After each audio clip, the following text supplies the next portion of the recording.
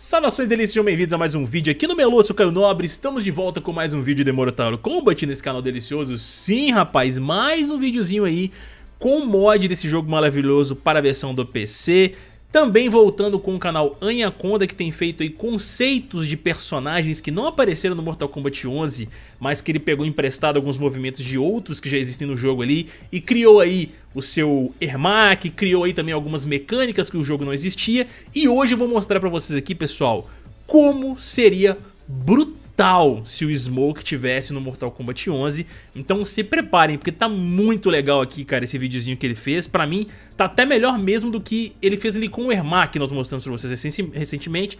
Então já deixa o seu likezão aí, pessoal, se vocês estão curtindo esses conteúdos. Se inscreve aqui no canal e ativa o sininho pra não perder notificação dos próximos vídeos. É uma regra do YouTube, se vocês não ativarem, vocês não recebem os nossos vídeos. E o canal do Anaconda, onde eu estou pegando esses videozinhos aqui, vou até trocar minha tela já de uma vez, estará aqui embaixo na descrição para vocês acessarem lá e conferirem os outros conteúdos que o cara posta também, que são muito legais, pessoal. Então vamos lá, ó.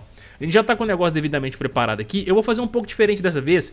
A gente já vai observando aqui, já em câmera lenta, né, mais ou menos, como é que estão os movimentos, o que ele fez com o personagem, entendeu? Assim, no caso ele pegou emprestado os movimentos do Scorpion dessa vez, pra poder fazer esse Smoke.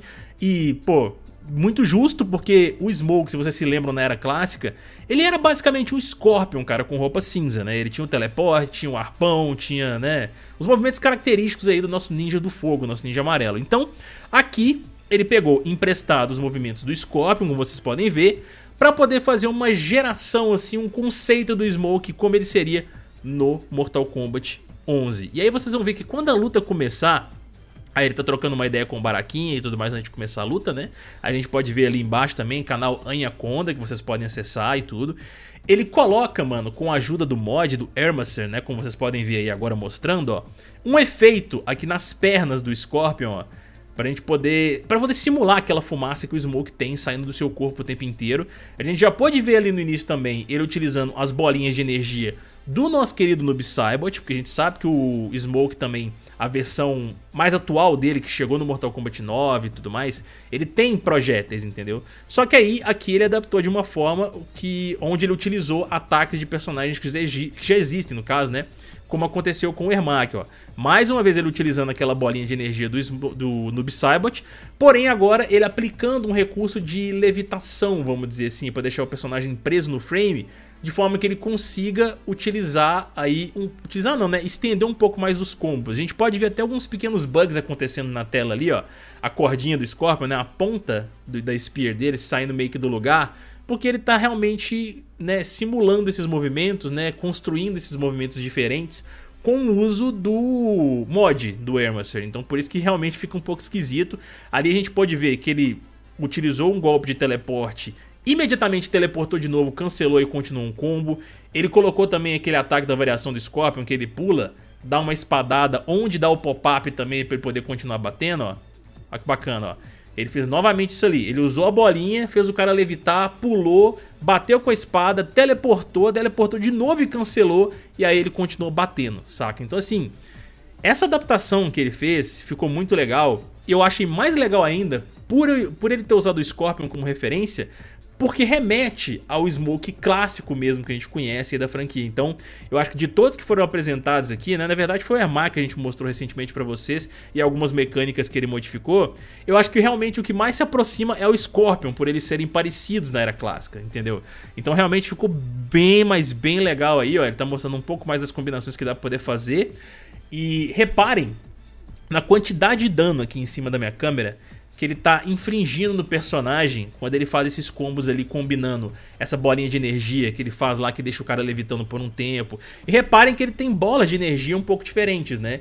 Tem uma bola de energia que é aquela mais lenta do noob, que ele implementou nesse smoke do Mortal Kombat 11 para o cara ficar levitando, e tem aquela um pouco mais rápida também que ele taca, entendeu? Que é justamente para poder causar dano e também para poder zonear, né, vamos dizer assim. Ó, vamos ver o combate que ele vai fazer agora em cima desse Crush. Olha lá, ó. Ele fez o teleporte, pegou, teleportou de novo, cancelou e continuou combo, mano.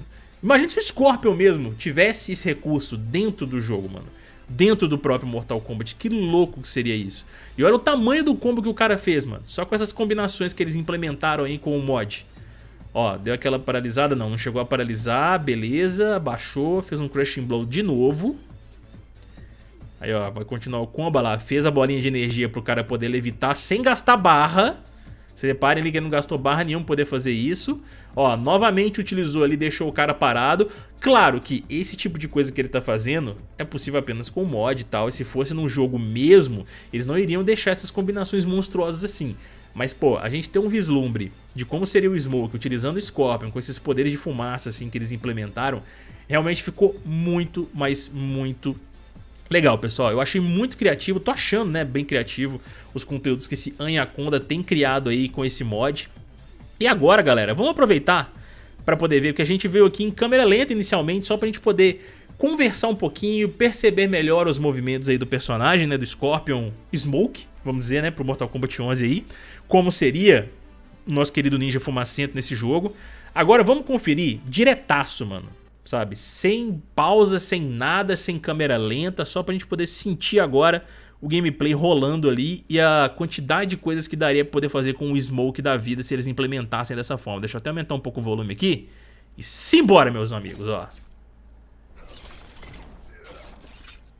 Deu aquela puxada. Ó, ele pe eles pegaram a voz do Smoke, mano. Eu não tinha reparado. Eles usaram a voz do Smoke ali, Where's the smoke, there's fire. Ah, que da hora. Que aquela voz dele é do Mortal Kombat 9, não é? Essa voz que eles usaram no Scorpion ali. Olha que louco, mano, as combinações que dá pra fazer, ó. ó vai começar a usar os poderes, ó. Pum. Ela levitou, puxou com a cordinha. Olha que da hora, velho.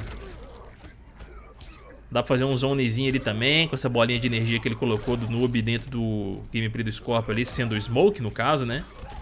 Ó, espadinha. Ó, deu teleporte ali, pegou, teleportou de novo, cancelou e continuou o combo. Cara, é muito louco, na moral. Esse cara tá de parabéns, velho. Com esse negócio que ele criou, na moral mesmo, sério. Ó, novamente, agora no cantinho. Nossa, olha o que o cara consegue fazer no canto. Pô, e o cara que tá jogando aí também, pra poder fazer essas combinações igual aqueles dois chutes ali, stand 4 do Scorpion, Pra poder pegar os dois no canto assim, não é fácil fazer não, viu? Esses dois chutinhos aí, ó. Você tem que ter um timingzinho legal pra você não poder... Pra você não dropar o combo, na verdade. Nossa senhora, ó, beleza. Meteu aquele Crushing Blow e agora a última luta, né? A última parte, né? Com o Shao Kahn. Mais um Crushing. Olha o combão vindo, ó. Mano, isso ficou muito da hora. Ele teleportando, teleportando de novo e cancelando e continuando o combo, cara. Roubado pra caralho, mas da hora ainda assim, entendeu? Ó, bolinha de energia, mais um crush ali pra gente poder ver. Levitou o personagem. Nossa senhora, combaço, mano. Ele ficou parado ali no frame de novo. Ele conseguiu ainda dar continuidade no combo. Quase 600 de dano, rapaz. É. É como eu acabei de falar, né, pessoal? Isso daqui, se fosse no Mortal Kombat 11 mesmo, não estaria dessa forma. Porque assim tá muito apelão, entendeu? Mas realmente ficou bem legal o que ele fez aqui. Essas implementações, né, pra esse pseudo-smoke, vamos dizer, utilizando o Scorpion como modelo.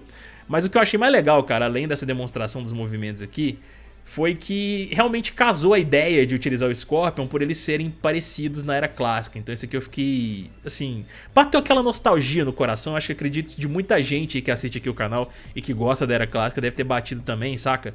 É, imaginar que eles poderiam fazer um Smoke mais parecido com o Scorpion. Assim, porque eu sei que tem muita gente que prefere o Smoke mais parecido com o Scorpion do que o Smoke do Mortal Kombat 9, que tem sua assinatura de movimentos próprios, assim, entendeu? Eu, eu gosto muito do Smoke do MK9, tá? Mas o clássico realmente traz aquela nostalgia deliciosa pra gente, né, pessoal? Então, assim, espero que vocês tenham gostado aí, meus amigos, de mais esse videozinho, trazendo aqui é, esses recursos que o, o mod do Ermaser, né, pode trazer pra gente. Tem mais alguns conteúdos ainda que eles fizeram, não só o Anaconda, como vocês estão vendo aí embaixo, não aparecendo, mas também o Char, que é um outro canal também que faz conteúdo com esses mods. A gente vai filtrar lá direitinho, poder trazer algumas coisas bem legais aqui pra vocês. E, por favor, pessoal, confiram o canal do Anaconda que tá aqui embaixo na descrição, se vocês puderem. Cheguem lá, Dá uma olhada nos vídeos, se inscreve no canal, deixa um like lá pro cara, deixa uns comentários também, que é sempre importante, né, dar uma ajuda nos trabalhos assim. E espero que vocês tenham curtido esse videozinho mais uma vez, galera. Deixa seu likezão aqui, se inscrevam no canal aqui do Meia Lua também, pra gente poder sempre trazer essas curiosidades maravilhosas pra vocês. E ativem o sininho pra não perder notificação dos próximos vídeos. Eu vou ficando por aqui, pessoal. Um beijo pra todos vocês aí. Até mais, e... fuemos, meus amigos.